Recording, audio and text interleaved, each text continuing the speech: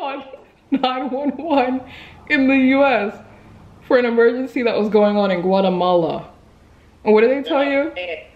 I was mad because they were like, um, ma'am, you have to get, like, you have to go international. There's nothing I can do about your dog. Three hours. But I'd never see you guys again. You were? You were freaking out? A little bit. What were you thinking? What was going through your head? I'm ready to die. You're about to die. Welcome back to my channel. Please excuse my hair. It's a little bit, you know when your hair is like still drying? I just washed and did my hair and it's still drying so it's wet and it's dripping on my shirt. So sorry if you see my hair dripping. Uh, it's still wet and drying. So I wanted to ask you guys if you could please vote for me for best travel vlogger. I was nominated for a Shorty Award for best travel vlogger, which is insane. And I think I'm the only black girl. No, I don't think. I know I'm the only black girl. And I just think it would be really cool. It takes two seconds. Um, you can click the link that I'll put down below and it takes literally two seconds to vote. And I visited 100 countries. Um, last year and not last year because I can't I keep forgetting it's 2020 almost two years ago but it's like it was it's just 2020 so it was like a year and a couple months ago. I visited 100 countries in one year on a challenge and it was a lot of hard work but it's like paying off it's paying off which is amazing. And yeah it'd be really cool to win the award and go to the shorty awards um, which are in May, and being on the red carpet and wear a gown, and that would all be so cool. It would be my first red carpet. Okay, anyways, but anyways, like I said, if you're interested in voting for me, then please click the link down below. Um, it would mean a lot. Thank you in advance. If you vote for me, you're literally an angel and I thank you. So I have been in two shootings, which is crazy. I've talked about, I don't know if I've talked about the one I'm going to tell you about before. I'm sure I did. Um, maybe briefly or maybe I didn't. But I have talked about the first shooting I was ever in when I was like 18 years old. Um, I am from New Jersey and I'm from see I've moved around as a kid so I don't really ever know where to tell anybody I'm from because we moved like every year as a child, I've lived all over New Jersey and the New York, Philadelphia area. So, but I have most of my life lived in South Jersey, but the country part where, you know, everybody's, everybody was Christian. I was raised Christian. I am still a Christian. Um, but I was raised around all Christian people. Everybody I was raised around was Christian um, and just really low key. There was never any crime where I was from. Um, I remember like I didn't find out about sex sexual things until I was literally in late years of my high school um, because I was homeschooled and we didn't talk about that stuff.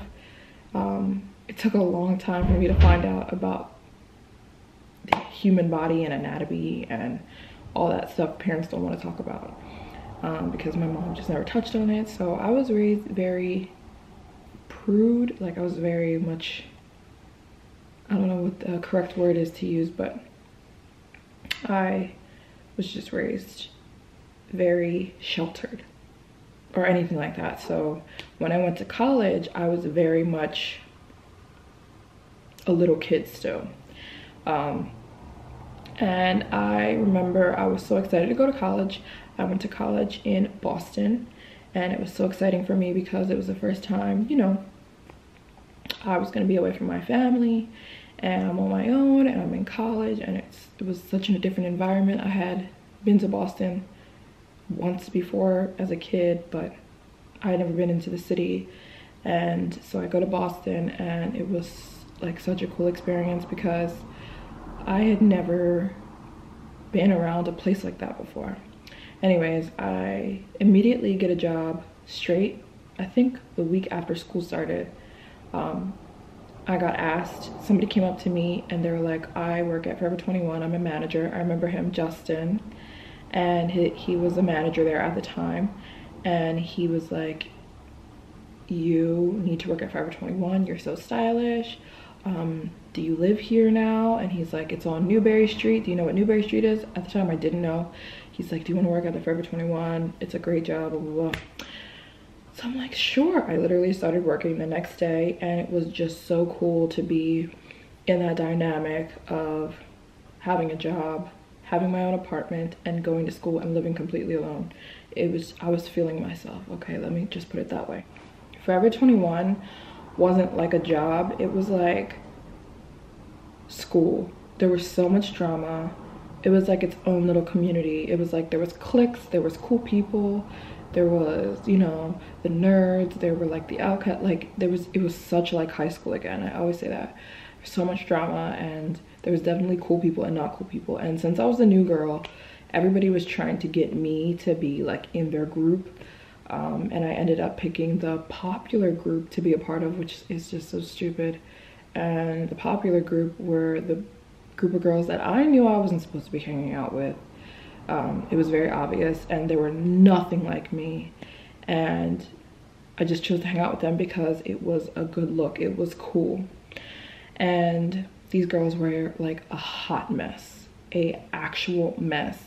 And if you're currently in high school don't hang out with the girls that you know you shouldn't be hanging out with even in college don't even if you're gonna look cool or whatever just don't do it because it will end very badly. You'll be put in situations that you have no business being in. So long story short i start hanging out with these girls on a regular basis um, and they're putting me around things that i am not used to. I was going to parties with them just because they said you're going to this party with us. And they're i don't okay i don't smoke i don't drink i don't dance like in a party setting. It's just not something i do it's not something i want to do. And they take me to parties like twerking parties where like all the girls are like shaking their butts and they'd be like nudging me like come on dance! And they'd be like look that that boy wants to dance with you go dance on him. And i'd be like and i would never do it. I would never do it. I would always be that girl always i would be sitting down on her phone looking miserable while everybody else is dancing because it was just not my scene. No what the heck am i to dance on somebody for? Anyways and there was always some sort of fight after the party but it never got into shooting until this one time. There's this all-white party that you need to go to. And i was like no I'm kind of done doing parties. I was trying to distance myself from these girls and I was like, you know what? No. And they're like, no, you're going. Um, you're going to this party. And I was just like, whatever. They're like, it's an all white party. We need to find you an all white outfit.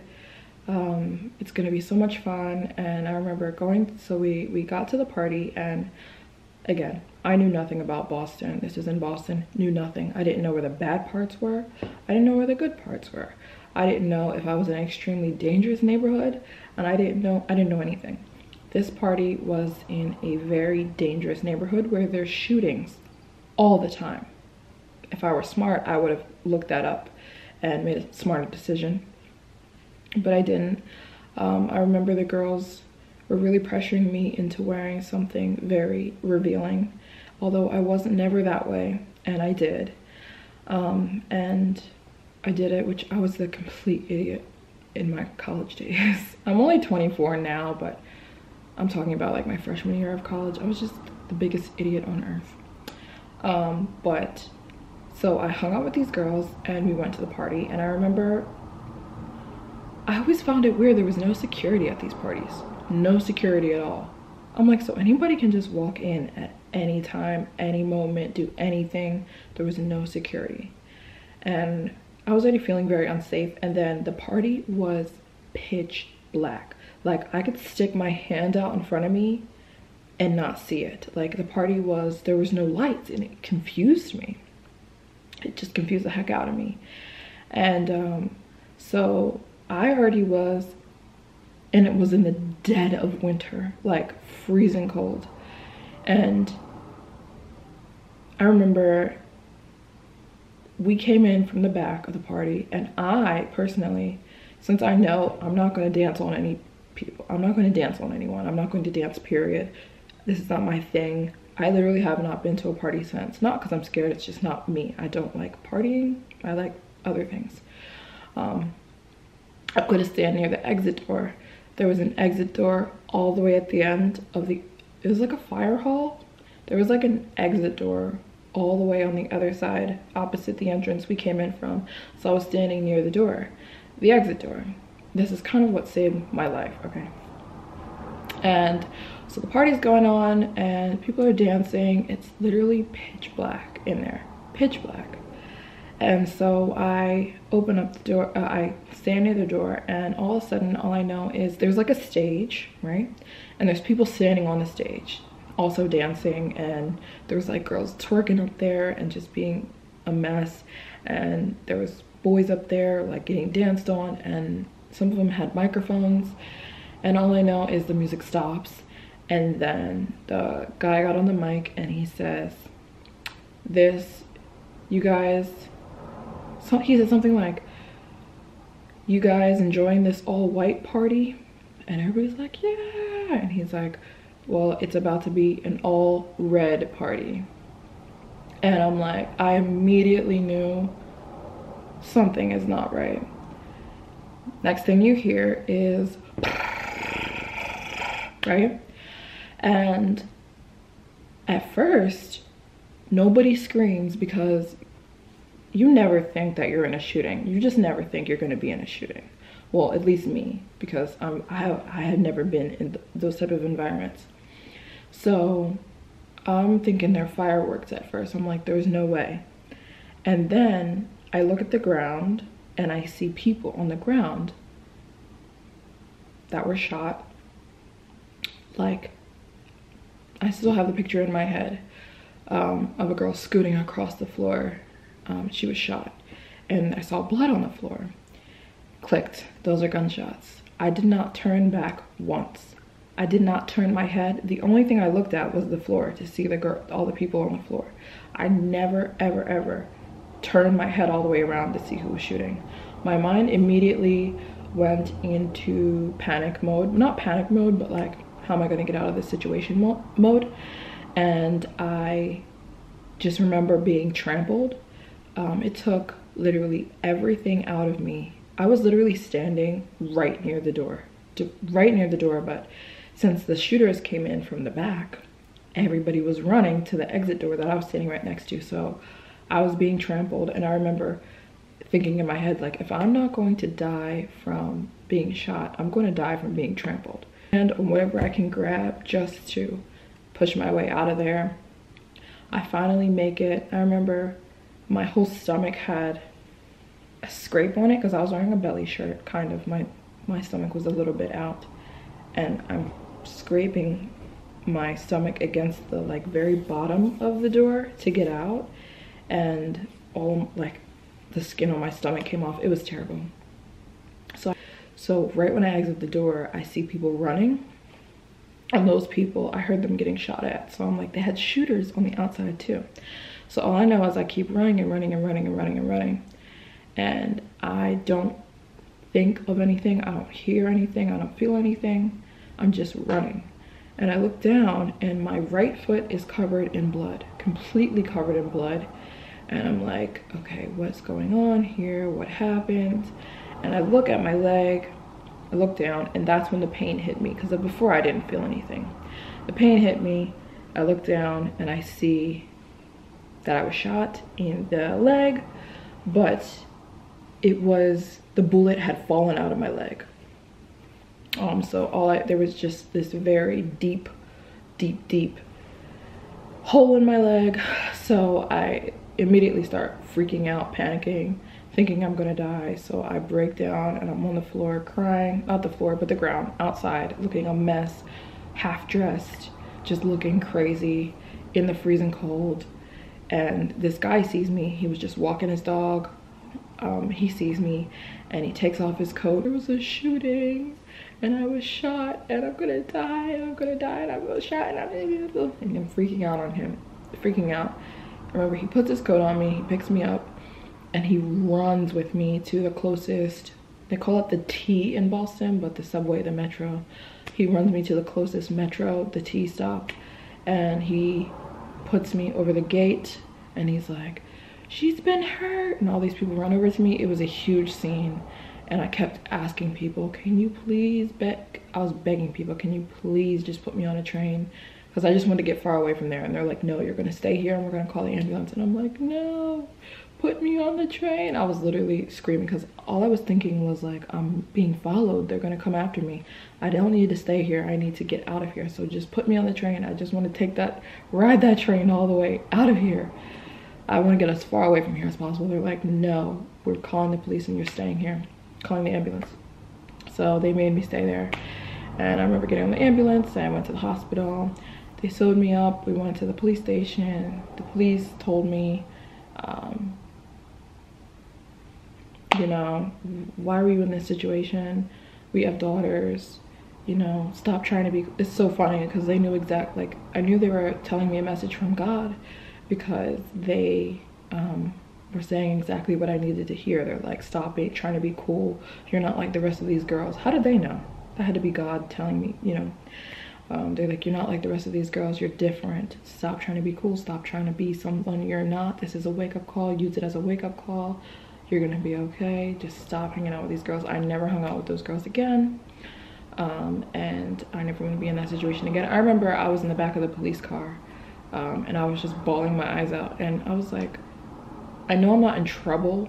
The police were taking me home because we had to first go and tell the story at the police station. We, after going to the hospital, they, me and three other girls were taken to the police station because we had to, you know, tell the police what went on so they could help find, you know, the people who were shooting. And um, so afterward, the police took us home and I remember I was like, I wasn't in the back of the police car because I was in trouble. I was back there because they were taking me home. But I just remember I was bawling my eyes out crying. Just like, why? I never want to be in the back of, the, of a police car ever again in my life. Like, I don't care. Like, this is terrible. This is my fault. I shouldn't be back here. I'm half dressed, covered in blood in the back of a police car. Like, this is just a mess. And it didn't need to happen, you know? And the police were like they were the kindest men i've two white guys but there were three white guys that were talking to me but the two two white men drove me home not that it matters what color they were but they were like we have daughters your age and we know we can tell just from talking to you that you're not like the rest of these girls. Stop hanging out with them. And just go to school and do your schoolwork and you'll be fine. And that's what i did from now then on was going on a challenge to visit 100 countries in one year. I didn't care about is this country dangerous? I didn't care about uh, is this country poor? Is it a good travel destination? Is it, I just wanted to get to as many countries as possible. And that's, I had laser focus. Um, I had a laser focus about traveling to these 100 countries. So I remember I realized through the challenge that I needed help. And I had my brother start traveling with me. He came out of school. He was 15 at the time. He's now 16 he was 15 at the time and he dropped out of school to come help me with my challenge to help film take my pictures to help me with just help. He was 15 and i was 22 at the time. Or 23 i was 22 about to turn 23 i was 23 halfway through the challenge. Now i'm 24 this was only a year and a half ago. Anyways so i remember we my passport ran out because i had been to a lot of countries already so I had to get a new passport, so I had to come back to the US. So I said, I came back to the US, where I'm from, to get a new passport. And then I said, okay, from here, I'm just gonna go straight down the line.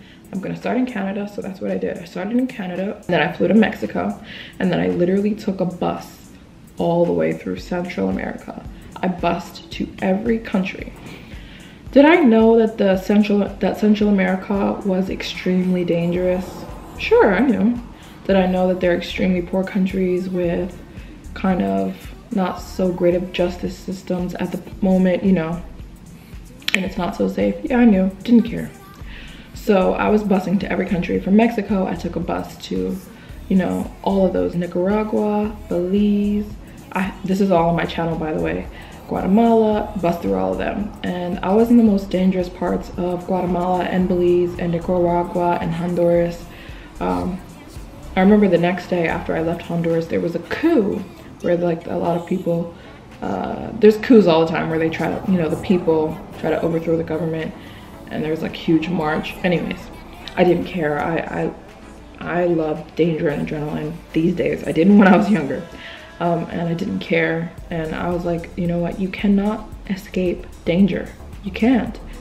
There's danger in every country, so I'm just going to chase my dreams and travel and not let fear hold me back. So that was my mindset. So we're in a very bad part of Guatemala, and yes, I'm aware about this. I'm aware we're in a very bad part of Guatemala, but I'm like, whatever, we'll be fine. So me and my brother are just staying in this mom and pop owned hotel. Good morning, Guatemala. Well, just big day, big day ahead of us. Got a lot of working to do.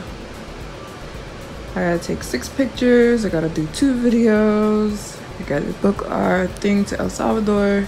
We gotta walk to the grocery store. We got stuff to do. We gotta work. We gotta work. We gotta work. We gotta work.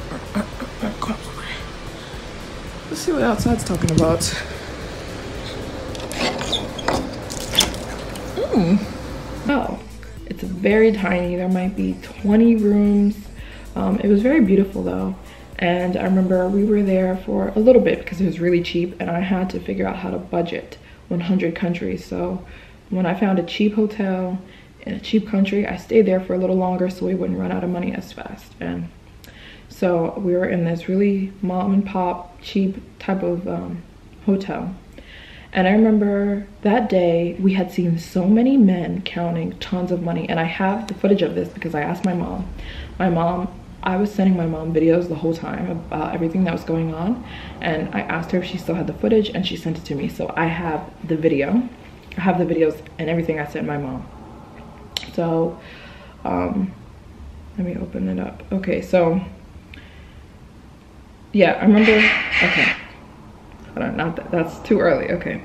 So I remember we saw all these men in like white button-ups at the hotel and they all were counting I mean stacks of money, ridiculous amounts of money. And I was like, this is off, something is not right. Why are there so many men here at this random mom and pop hotel? They're not even staying at the hotel and they're counting ridiculous amounts of money. So I remember whatever, we just like, whatever, we went to sleep. Sleep. And I remember it, wo it woke me up first. It was about five o'clock in the morning. I start hearing gunshots and a lot of them, right? So I'm like, there's not, that is not gunshots. Like, there's no way this is happening again. And it sounded kind of just like the gunshots I heard when I was at the shooting, when I was, you know, in a freshman in college. And I was like, there's no way. So then I remember a second round went off and I heard a lot of people screaming, right? And I remember, since I'm an idiot, I crack the door open and I look out and I see these girls that look like they were half dressed. They were half naked, half dressed, half naked, whatever you want to say. Glass is half full, half empty. And they grab like a bunch of clothes to their chest and they just run away. I'm so confused. I'm like, right? Close the door. I'm debating whether I should wake my brother up because he's 15. What's going on? wake him up anyways because i'm like we might have to take a run make a run for it. I tape it and i send it to my mom right? She starts freaking out panicking. The only reason i sent it to her i know she's a panicker. She's a, she's a big time panicker um, especially when it comes to her kids. She starts panicking. She says like get on the floor. Don't make a noise. And so me and my brother get in the shower. I don't know why. And we kind of lay on the floor of the shower just in case gunshots came our way, we wouldn't be hit with one.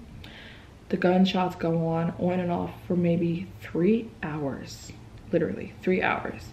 And um, I'm sending my mom the videos the entire time. And I don't know, like me and my brother just aren't afraid of anything. I don't know where we get it from. I'm gonna ask him if he was afraid. Yeah. Hello? I'm doing a story time about Guatemala, the shooting. Yeah, so were you afraid when we heard the shots? Uh, somewhat. Somewhat. You were? You were freaking out? A little bit. What were you thinking? What was going through your head? I'm ready to die. You're about to die. Low key, that was going through my head as well. That's why we that's why we ended up sending the video to mom, right?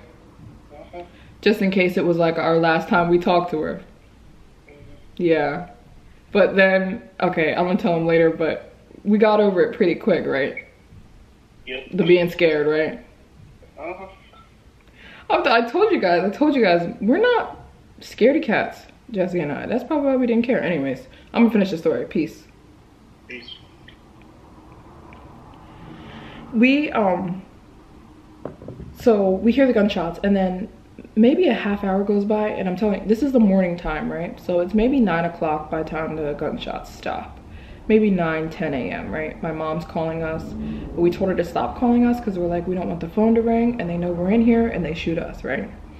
So we leave the hotel room after we hear the gunshot stop for like a half hour right and there's like three rooms in the hotel where the doors are wide open there's a ton of money on the floor and there's nobody in there. So we're just like yeah there's probably a shooting right? We're like but me and my, me and my brother like should we leave? What should we do? And i remember every morning there was a cook. And there's one cook and you told him what breakfast you wanted and he made it for you. So we look down and we see the cook is still there we look everywhere else, there's nobody around. Nobody. It seemed as if everybody had left their hotel room. So we're like, but we're hungry, right? So we go down and we ask the cook, Did you hear those gunshots? And he goes, Yeah. And I goes, So what's going on? He's like, Well, do you know you're in a very bad area of Guatemala? And I said, Yeah. And he's like, It happens. So my brother were like, So you've heard this before? He's like, For sure. And I was like, so uh, are the people gone? He's like, I hope so. I think so. And I'm like, nobody else is here. Was, he's like, yeah, yeah, we know. I know. So we're like, what do you suggest us to do? Leave? Do you suggest us? He's like, well, yeah, if you're afraid, you should definitely leave Guatemala. And so I remember that day I booked us our bus to get out of there and to the on to the next country. And I said, but until tomorrow, there's not much we can do. And he's like, yeah, I guess. He was so low key. So me and my brother were low key and we're like, okay. So we're like, can we have breakfast? And he's like, yeah. He starts cooking us up fruit and the food in Guatemala is just ridiculously delicious. He starts cooking, cutting us up all this fruit, all this food. He cooked us up so much food because nobody else was there. Everybody had left. So I remember me and jo me and my brother Jesse, we just sat on the porch and ate breakfast relaxing. Uh, my mom calls back. She's like, What are you guys doing? And we FaceTime her and she sees us eating breakfast. And I remember she was just, she was already exhausted emotionally because she had been crying and freaking out. And my mom's husband said that she was rolling on the floor, floor praying and freaking out. I heard ask her. She literally called the police in America. Sister. Hello? Hey, hey. I'm filming my video.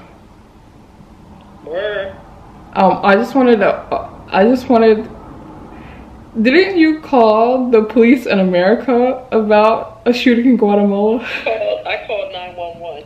She called 911 in the US for an emergency that was going on in Guatemala. And what did they tell you? I was mad because they were like, um, ma'am, you have to get, like, you have to go international. There's nothing I can do about your daughter in another country. Right. I'm like, okay, somebody better do something. I'm done. And me and Jesse just sitting there eating eating breakfast. No, I thought I'd never see you guys again. yeah, we thought so too. We were like, dang, we about to die. Mm-hmm. So scared. but did I think I was about to die? Maybe. I don't think this, I don't, the last thing I want to do is to make people afraid to travel. You cannot escape danger. It's all over the world. It's everywhere. I'm from America. America is incredibly dangerous, you know? So, and I know a lot of you guys are from America. So, it would make no sense to not want to travel to escape danger because danger is here. It's everywhere. It's literally, you can't escape it. You can't go anywhere and be safe, you know? Most crime doesn't happen to travelers. Most crime happens to people living their everyday lives. People going to the grocery store, people going to school, people in school. You know all those pedophiles in school, school in our school systems, people being stalked, sex trafficking. It's everywhere. It's everywhere. You cannot escape it. So do not think you shouldn't travel because you're afraid.